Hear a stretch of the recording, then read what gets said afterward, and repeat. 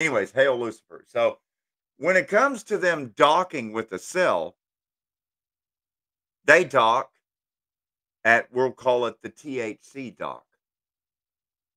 And the problem is when it comes to the human endocannabinoid system. Yeah. Which is part of the immune system, you see. And so and the THC immediately docks at every single one of these cells because it's four fucking water molecules. It just fits right in that. I mean, a tetrahydrocannabinol, four water mono, four water molecules suspended around a cannabinoid.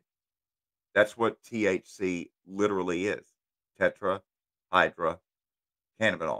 Yeah. Four water molecules and a weeds particle. So the weeds particle is then delivered and docked in that parking space.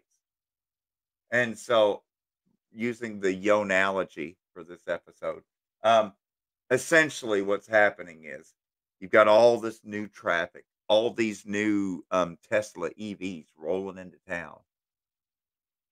And they're looking to infect this stoner's cells in this stoner's body.